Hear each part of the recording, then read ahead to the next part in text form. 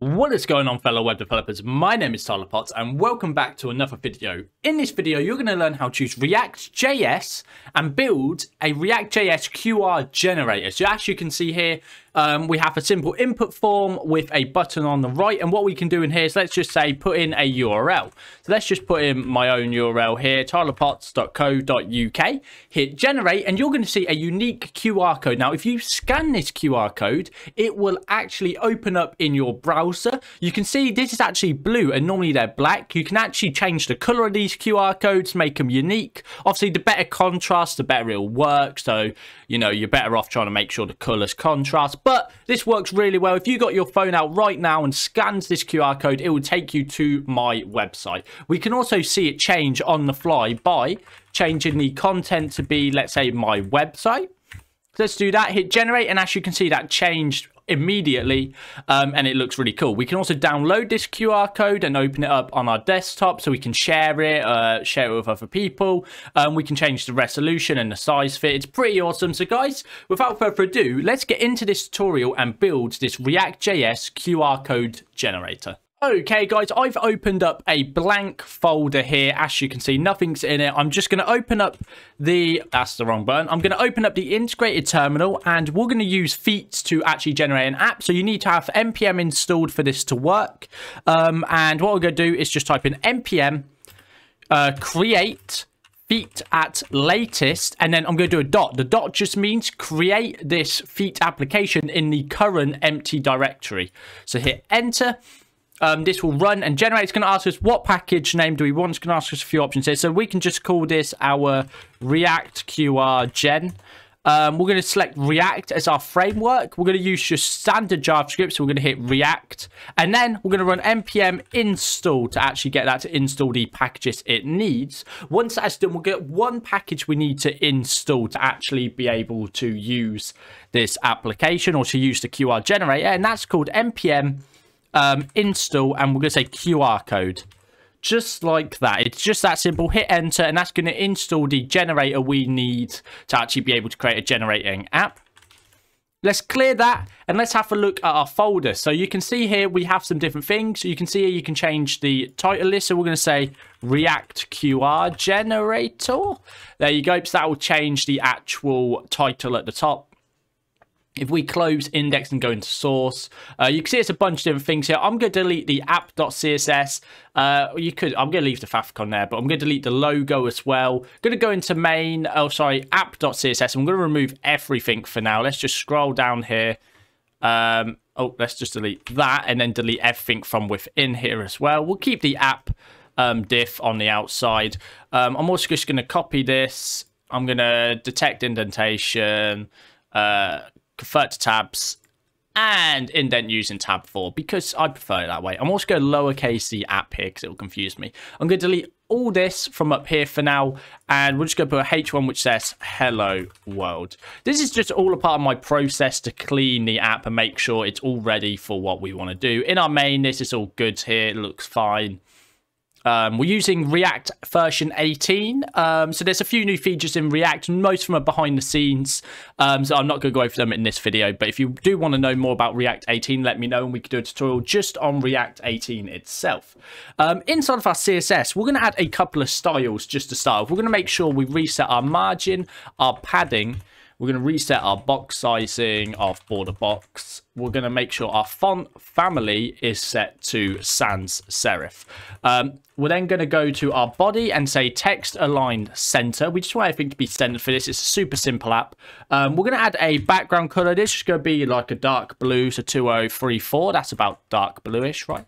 Um, I'll do. Um, and then we want everything on the page to obviously be white. So that's good. Let's run this real quick. Let's say npm run dev. And now that should run as a development environment. And on the right here if we refresh you can see there we go. We get our hello world. It's all there. Let's just go down here and go to a dot app. And let's just quickly make add some padding so it pushes everything away from the edge. Let's just say one rem. Nope. Two rem one rem We'll do two rem, one one. I want it to be higher at the top there. That's fine. Cool. So there we go. Let's push everything down for us. Um, so let's go back to our app now. So what do we need to do? We need to import our QR code generator, but let's get our markup done. So let's get all the styling we need out of the way here. So the first thing we want to do is we're going to have this, and we can rename this to whatever we want. I'm just going to say QR code generator. Um, and there you go. Obviously, the styling, the layout of this doesn't really matter. It's more about the functionality, but I thought I'd get this out of the way early. So we're going to have an input field of type text. Um, I'm going to break these down to separate lines. We're going to have a placeholder, which is going to say um, e.g https uh, google.com, just as an example, one in there. We can then add in a value. Um, it's just going to be empty for now. Obviously, we're going to bind our value later on. We can actually leave that off until we do bind it. So there we go. We've got that. Let's create a button um, and just call generate just like that. And there you go. So that's that's there. Let's let's style that up real quick. Um, let's just go down here and underneath app, all we're going to want to add is, uh, well, we want to style our H1 first. Let's say our H1, give it a font size of 2 rem, um, which it already is. So let's go 2.5. Let's make it a bit bigger. There you go. Much nicer. A margin bottom of 1 rem there. Uh, just to push everything else down. We're going to get our input now. This is going to be a little bit of code here. So we're just going to reset the appearance. Let's just slide down. I'm going to close this sidebar. I'm going to zoom in one for you just to make it easier. There you go. So we'll get our appearance. We're going to reset our outline. We're going to reset our border. Um, border, none. And then we're also, none, please. And then we're going to set our background to be EEE, just a more of a light grey. Um, we're going to give it width of 100% um, which is going to break it, but that's fine. Uh, we're just going to then set a max width of, let's say, 300 pixels. 300 pixels should be enough to get a good URL in there. Uh, obviously, you can paste it or It's just you know. Um, let's just add a 0.5 rem of padding, 1 rem on the top and bottom, 0.5 on top and bottom, and 1 rem on the left and right. Um, let's give it a border radius of 0.5 rem as well, just to make the edges slightly rounded. And then a margin right of 1 rem to push that generator button over to the right a little. Um, that's good. I think we're good for the input field. Let's actually style the button. So we're actually going to style the button and A tags just because I'm going to have an anchor tag to download this later, which I want the same style. I don't know if that's at save. That's actually pretty good. Other than we don't want a background, we want to set that to none. Um, we don't want the width to be 100. We don't want any of that width properties. Save. That puts it back up to the left. That's good. Uh, we can keep the padding, although it's not. Uh, it's not necessary. We'll, we'll remove that. Uh, we don't want any margin top. Um, I don't know why it's margin top. There we go. Right, so let's set the color of this to be like some sort of greeny color. What color would be? Let's say 2B, 4, no, CB, uh, 4B. Uh, hashtag. That should be about green. There you go. That's nice. Give it a font size of 1.5 rem. Looking much better. A line height of... Oh, excuse me.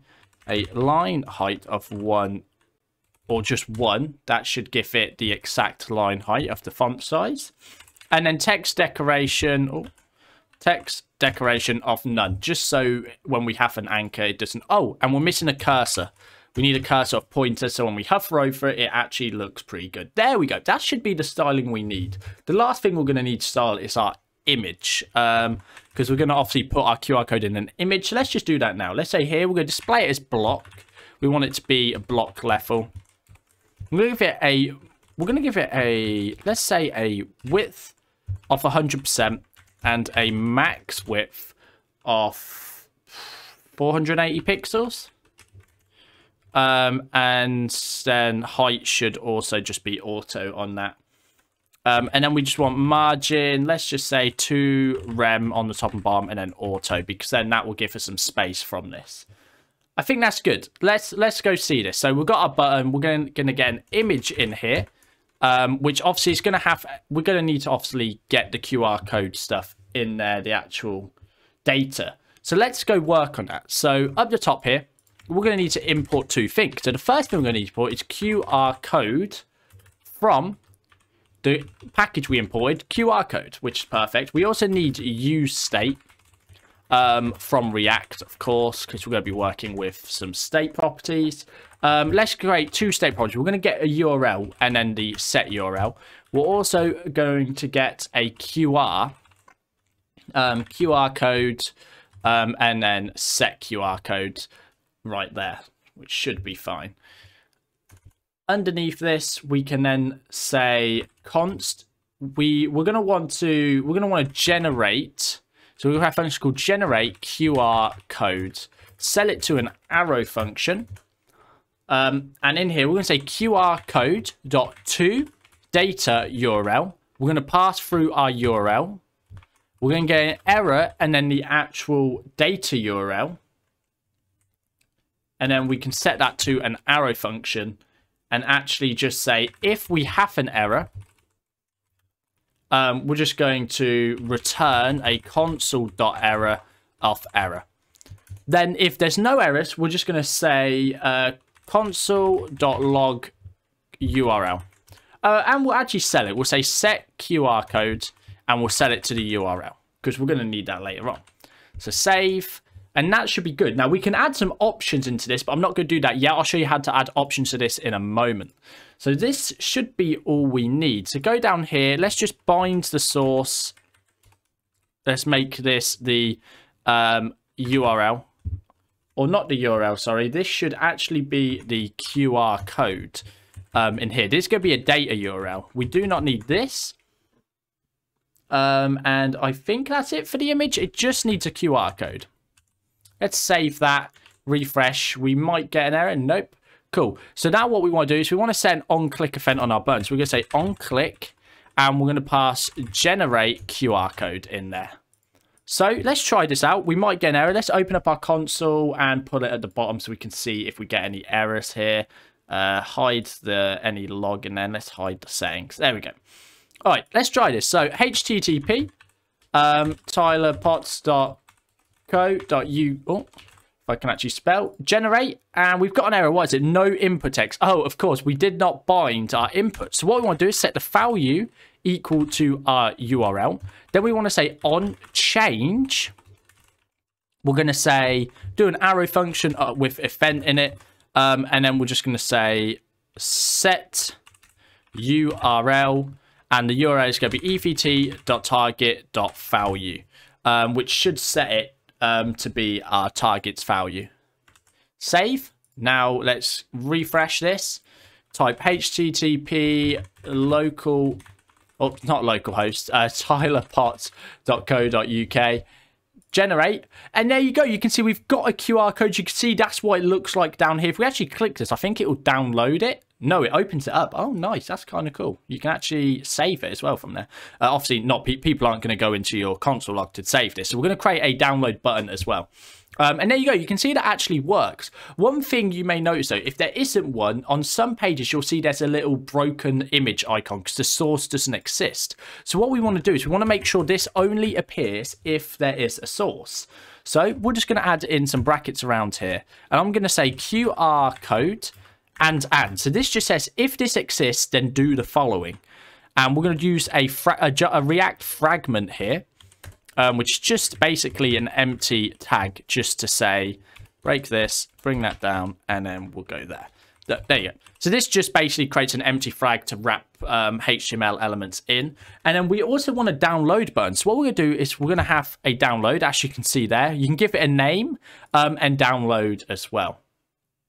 Um, we could also append something to this name. So let's let's give this Actually, no, let's not do that. You could append something to name, but it's probably best if you keep it something simple because that's going to run into some errors when people start writing um, all these weird characters in there. Um, so href QR code, which will be the data URL, which when you click, it will actually download with the name of QR codes.png. You could also do JPEG or whatever else you wanted there. So that, although I'm pretty sure it comes through as a QR. So let's, oh, sorry, a PN, uh, PNG. So let's have a look here. So have we got everything here? It says generate QR code. So this will only show. So look, if we don't do this, by the way, if we remove this QR bit real quick and save, you'll see we have a download button, but it doesn't actually go anywhere. That's going to look failed, no file, because there isn't actually anything on it. So if we now undo that and actually add that back, that will only appear once we have generated a code. So let's try this again. Let's go in here. Let's say http uh, tylerpotts.co.uk, hit generate, and there you go. You can see that's there. And if we hit download, we get a QR code. If we open that, you can see the QR code there, but it's kind of small and you can see it's kind of blurry. So trying to scan this with your phone, you may have a few errors, especially if you're doing it through YouTube itself as well, because that's just, that's going to look a bit wrong.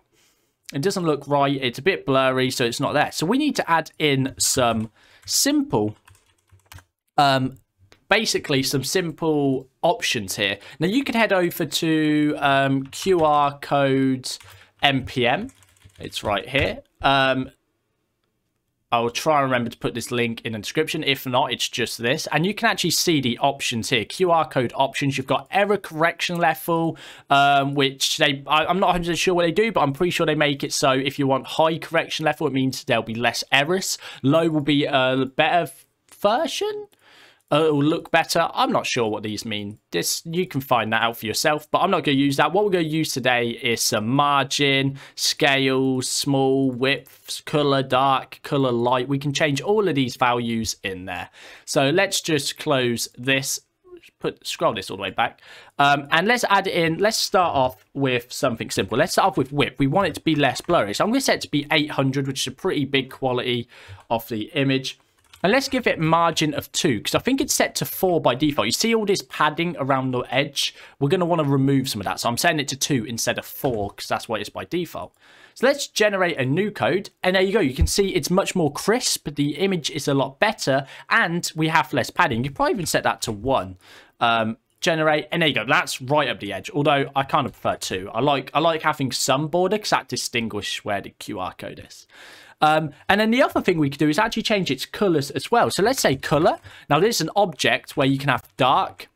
And this is actually a, um, you have to use an eight character code for this. So we're going to say, let's just do, let's do like a blue. So zero, zero, oh, zero, zero, FF, FF. So the two Fs at the end are the transparency. If we did this as zero, zero, it would probably not work. You can see it's actually completely invisible um, it's showing the backgrounds there, the actual background behind it.